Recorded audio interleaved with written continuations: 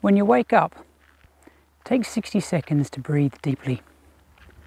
Remember what you are grateful for and set your intention for the day instead of going straight to your phone, which contains the world's agendas and what the world wants of you, not what you want of yourself.